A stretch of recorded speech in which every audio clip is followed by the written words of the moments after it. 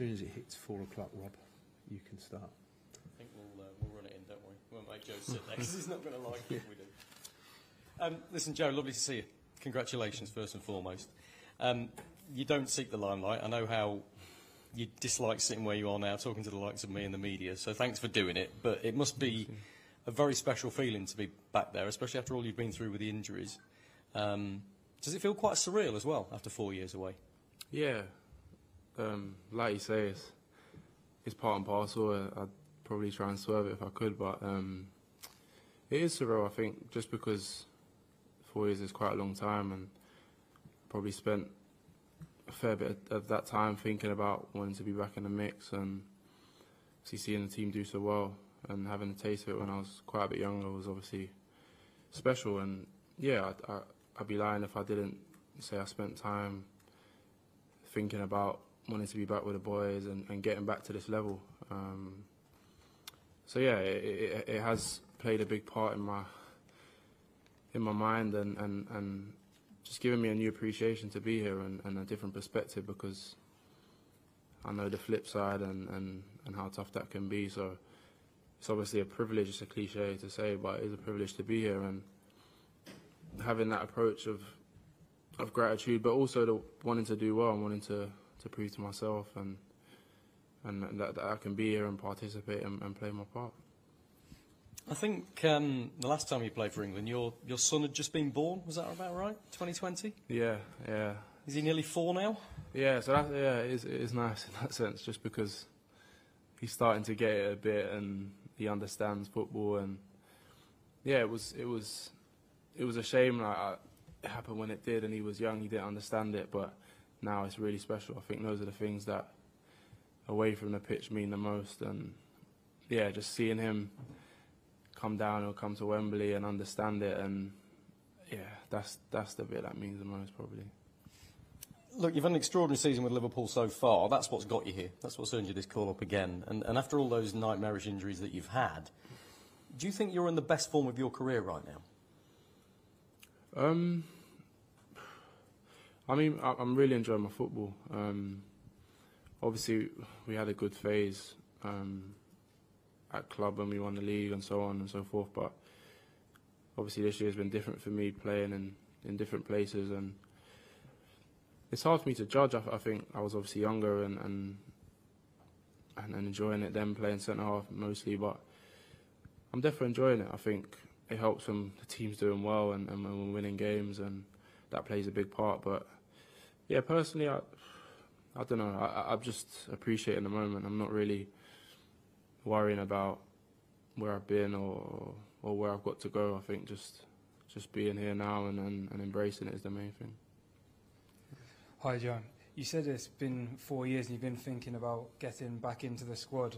Last time you were with England, you got the injury on the training pitch. Was it a strange feeling going back mm. out there, considering the last time you were you you got injured?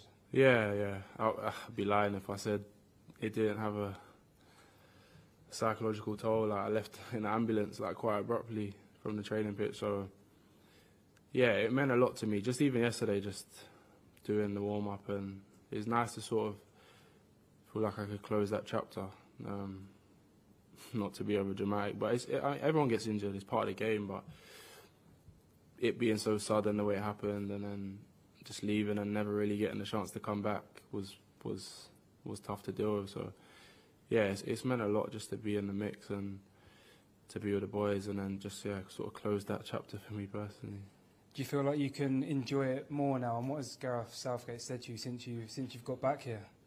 Yeah, I think obviously at that time I was probably I don't know 22 maybe or so, and being away for so long, you naturally everyone gets older and, and you sort of get a different outlook, a different perspective, and I, I'm appreciative of that side of the journey, and I can use that to sort of understand that there's there's a lot going on, and obviously it's a massive privilege and, and it comes with its pressures playing for England, but also understanding um, it's where you got to be grateful to be here and you don't have to be here. It's it's it's um it's a big privilege, as I say. So yeah, Gareth's been been good with me. Obviously, um, I was with Gareth all the way through 21s, and then he picked me for my debut. So that's that's that was nice to sort of reunite with him and and and just be back doing what I'm meant to be doing and and, and yeah, Gareth's great in, in that sense, like on an individual basis, keeping in touch and speaking to the players. And you're here in the in the camp before the squad's named ahead of the Euros. The squad goes from 26 to 23, and at Liverpool you're playing in so many different positions. Do you think being so versatile gives you a, a better chance of making that squad? Uh, maybe. I'd, honestly, like I'm just um, taking in this squad, this camp. Obviously, it's it'd probably be a bit premature for me to think ahead um, to that point. But yeah, I'm, I'm just enjoying my football. I'm, I'm enjoying playing different positions, and obviously, first and foremost, I'd, I'd see myself as a centre half. But then, I think with age and with time, you just sort of take it in your stride, and I've enjoyed that. Um, obviously sort of embracing the opportunities that I've got, considering my past is the main thing. And um, yeah, what will be will be. I think just being here now and trying to get back in the mix with the boys and, and just enjoying the environment. It's, it's, it's a great place to be. Um, obviously, Gareth and all the coaching staff have made such a good environment. It's just nice to be back in it. Very great to have you back. Um, can you tell us the contrast in that squad in the last four years? You would have been hearing from your teammates about how it's changed, but coming into training today, what changes have you seen, and what's it like to have so many people say that you are a great, great selection for a 23-man squad?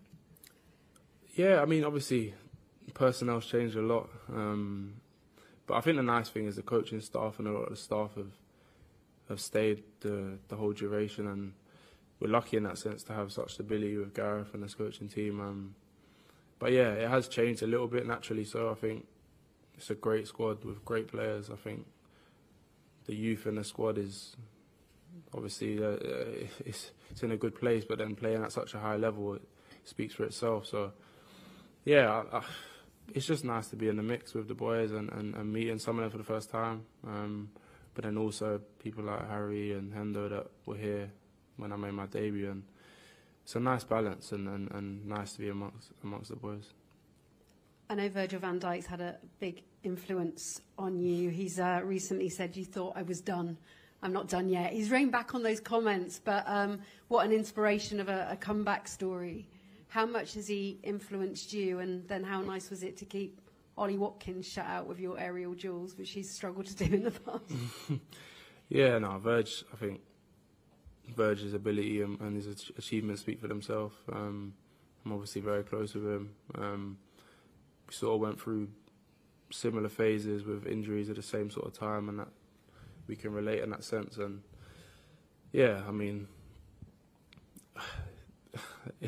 Verge can say those sort of things. I think he's who he is, and I wouldn't come from that angle personally, but he's um, he's a great guy. I think he's transitioned so well doing what he's doing, and but yeah, it's it's, it's nice to be here and, and amongst the boys that are here, and we know we've got big games coming up, so it's going to be a, a tough test.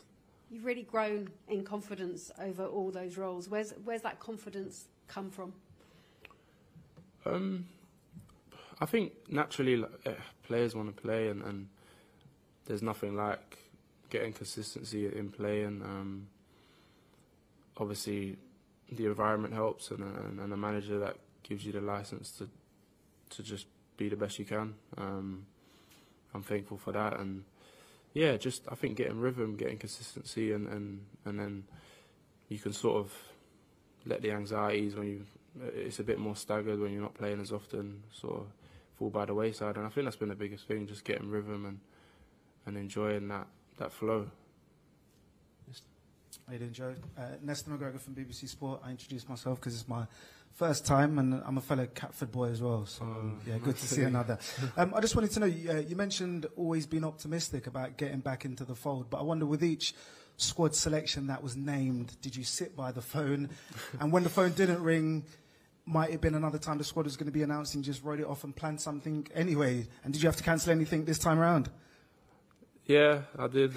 I mean, I was um, had to buy a book, so I was probably off there. But yeah, I mean, naturally there was probably occasions where I felt like maybe I had more of a chance than others. Um, obviously, early on, I was just focused on getting back to a, a good place. I think it was tough to come back from, and, and I wasn't expecting to be back in the mix as soon as I was fit. Um, obviously, it was tough at times when, in the past, pre-injuries, like when I've never been to a major tournament and then missing out on those. But I, I've always been at peace with with the the outcome. I've never been um, fixated on how I've not gone, so I'm not. I'm guided. I, I had to be. I think just focusing on the process and where I was with club and and doing that fundamentally is the main contributing factor to getting back in, in the fold. So uh, I think every, everything I'm believing everything happened for a reason at the right time. So I'm, I'm happy to be here now and, and yeah, it was obviously a lot of tough times and, and periods to sort of get back, but it's, it's nice to sort of hope that that's, that's compounded the, the hard work over time to get back to this point. Mhm. Well, I hope you got a refund in your Dubai Fair and Hotel. Um, it's worth saying, you know, we keep harking on about four years, but um, you might seem like a new player. Someone who- else is new is Kobbie Mainoo. I wonder if there's an England initiation. Uh, have you had to do one because it's been so long, and what might he have to do? Um, I don't think so. I think it's probably daunting enough to come back in, and um, yeah, I think everyone, the group, the senior lads, the manager, and the staff, try and make the, the boys feel as comfortable as possible. And yeah, I think he's is enough to focus on. I know it feels like your first camp, and similarly, me being in that similar sort of position, having been away for so long, that's probably a bit of an ask to to have to stand on the chair and sing or something, but. Um, yeah, I mean that's one of the beauties of, of having Gareth and, and the staff, how comfortable they make the, the boys feel, and essentially everyone just wants to focus on their football and, and do the best they can for the country. Mm. And with your son being four, I imagine a summer holiday might have been planned for June, July. I'm guessing that's not going to be the case. You want to be on that plane, and uh, what what would it mean like to come full circle? Yeah, I mean, I don't want to think too far in advance. I'm, I'm, I'm focusing on this week, so we, we've got two good games against top opposition, and being back on the pitch would would be would be nice. And yeah, I'm, I'm not thinking ahead that far. Obviously, we've got a lot to play for in, in, in the rest of the season as well on the club side. So yeah, what will be will be. I'm just taking it each day as it comes, sort of thing. Okay, anyone else in the live section? James, on it? Hi, Joe. Um, after Liverpool drew against City, your manager Jurgen Klopp went on TV and said, you know, Joe Gomez, Gareth, honestly. Just wondered what you made of that when you saw it. Um, yeah, obviously didn't see it live. I've got yeah, I mean, the gaffer that club is the gaffer. I think he's one of a kind, and I obviously owe a lot to him. That he's been uh, probably the biggest influence on my career, well, definitely. And yeah, he's it's it's nice to have that support from your manager, and I definitely didn't ask him to do it. So, um, but yeah, he, he, he's obviously been a massive influence on me, not just as a player but as a person. So that was obviously nice of him, I guess. Um, it feels like he's really championed you sort of consistently. Or he seems to quite often single you out and sort of talk you up. And it must be great for your confidence. Yeah, I think similarly to here, I think it, it, it's nice to have a manager that you collectively all want to play for and, and give your all for, and that's the case there. And I guess instances like that play a, factor, and, and um, yeah, it's it's it's it's obviously special to, to play under under him, but the main thing was doing what I can to get back here, and and, and yeah, sort of that. There's obviously a lot of focus on, on Klopp leaving and the talk about wanting to go out on a high, but with the sort of perfect end to the season for you be to, to win something more at Liverpool and then to go away with England at the Euros? Yeah, that's the aim. I think no matter the period, obviously the manager announcing that he's leaving plays a part in things and, and, and the whole view towards the rest of the season. But it was always the same. That the application won't have changed. Um, you want to win every game, every footballer does, I guess, and that won't have changed from when he signed his first his renewal to when he said he was leaving. I think we all obviously appreciate it massively, but um, yeah, nothing's changed. Everyone just wants to do well, and you can only do that by taking one at a time. I think we can't look beyond. It's obviously highly competitive, and it's not going to be easy, but yeah, all we can do is focus on, on what's ahead. Toll. And Mm. Can you just tell us specifically how you sustain the injury and just your emotions before you? Was it the same pitch that you returned to on yesterday? Yeah, yeah, yeah. It was the same pitch. Um, we were just doing an 11 v 11 sort of thing, and then Yesterday, you mean? Uh, no, yeah, the previous in the injury, yeah.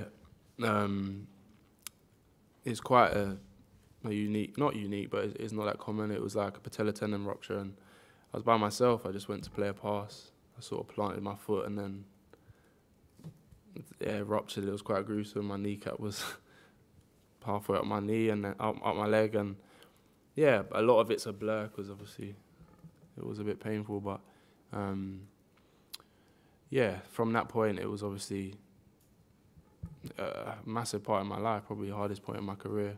Um, just that moment because of how it happened, and then yeah, the last time I saw Gareth, I was on the bed in the, waiting for the ambulance. So yeah, it was tough, um, and it it is a big part of my of my journey that I wouldn't shy away from. Obviously, I've moved past it, and a big part of, of my application and my motivation comes from working in that in that period to get back, and I, I don't ever want to lose that because it's it's shaped me into who I am, and yeah, I, I just think losing sight of, of where I've come from is is important. I don't do I don't lose that, so it's definitely changed my application towards everything, recovery, gym work, and so on, and just keeping it up. I think is important, but I'm I'm at peace with what happened, and and definitely moved past it. It's that long ago now. It's it's not.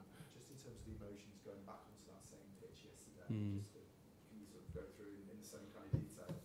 Yeah, it was. it was um, obviously from the outside looking in, no one would would realise, but it was a bit surreal. Um, I've sort of prepared myself mentally, obviously, to. But I think there obviously naturally was probably a bit of an underlying trauma that I could sort of draw a line under, um, coming back, and yeah, that's that was it meant a lot in that sense for sure. Joe, you had, you had a few games behind closed doors for England, uh, Mm. your last three games. So your last game in front of fans was the, was the, the game where, when you came on, uh, yeah, there, there were some, some boos in the stadium. I mean, how did that feel, and how did you deal with that and process that? Yeah, it was. Yeah, it was obviously testing. Like it was, it was. Um, you never want that to happen in front of your home crowd, but it was. It was obviously a scenario that moved long past now, and yeah, I'm looking forward to getting back in front of the fans and, and playing. I think Wembley's such a special stadium that playing in cup finals and so on, being there every time is special. So I understood that. I didn't delve too deep into it or, let it consume me too much. I understood. Um, it wasn't great. Obviously, I'll be lying, but it is what it is. Part of football. Jack, can I ask you a question about sort of the messaging from Gareth and the, and the staff around this camp in comparison to sort of when you were last in the in, in, in the group? Because four years ago you were the team building towards something, Yeah. and now you're heading into this summer. You, it, there's a feeling that you're on the cusp of and on the brink of actually achieving uh, Yeah. winning a trophy. Yeah. Have you found the sense that that kind of messaging and, and the the sense around the squad has, has has shifted and changed? Yeah, definitely. I think rightly so with the success that the team's had. I think um, the manager mentioned the world rankings that England were 13th or 14th at that point um, when we last played Brazil. So I think the team and the manager have done unbelievably well and and now sitting where they are and, and I think going into the Euros should definitely like it's, it's definitely creates a confidence.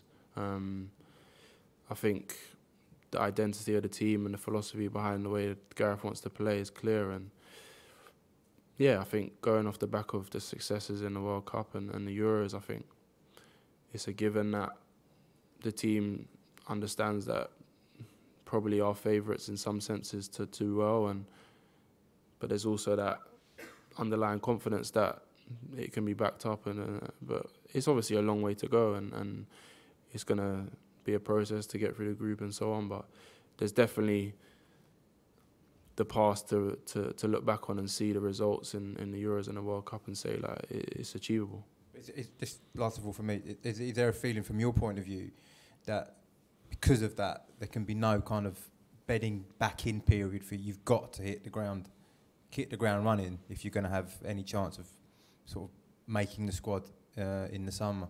Yeah, I think that's always the case. I think you know you have to try and put your best foot forward in this environment, and um, yeah, it, it, as I said, it's always a case in, in in my view of just one game at a time, and and hoping that that that all comes together to get in the mix. But yeah, uh, you always want to do your best when you're wearing this shirt, and and that that will never change. It's the last one before I get Anthony Gordon, Mike. Just uh, on the recovery from, from injury, how mentally testing was that for you? Was it almost a surprise to you how mentally testing that could Mm. be? And also, were there, were there anybody in particular that, that you really lent on during that time? Yeah, it was. It was.